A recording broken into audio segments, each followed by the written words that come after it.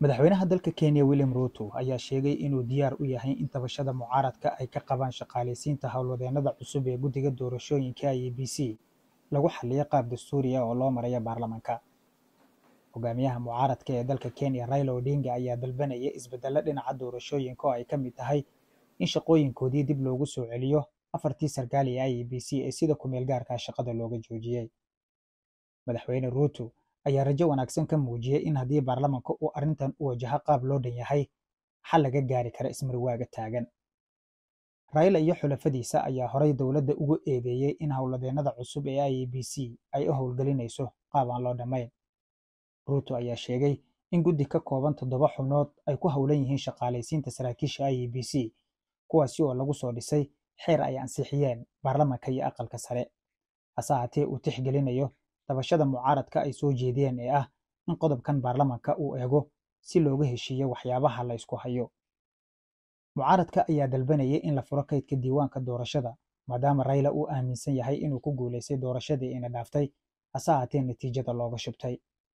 Madaxweyne Ruto ayaa sheegay in bishii Agoosto ee sannadkii hore guddiga madaxa bannaan ee doorashooyinka iyo xuduudaha Kenya IEBC loo igmaday inuu qabto doorasho hufan kadib markii mucaaradku ay muran geliyeen natiijadii doorashadana loo gudbiyey maxkamadda sare. Hase haatee dooda qodobkaasi ay dhinac isaga dhigtay haddana uu yahay wax laga soo gudbay.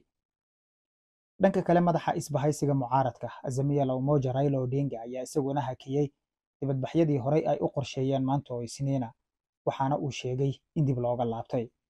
Tani ayaa timid markii madaxweyne William Ruto uu aqbalay qodobka ah in iyaguna ay ka taamayaan ama ka tashanayaan arrimaha dhanka mucaaradka la xiriira ee ah shaqaaleysiinta saraakiisha cusub ee IEBC taasoo looga wada hadlayo qaab baarlamaani ah.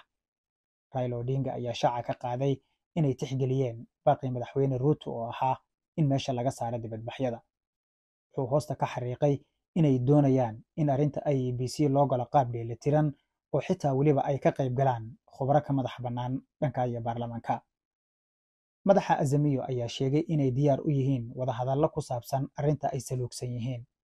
Hase ahaatee wuxuu xusay in haddii wadahadallada ay noqdaan kuwo guuldarraysta ay dib u bilaaban doonaan banaanbaxyada. Maxamed Cibaar Diiriye, C B A, Nairobi.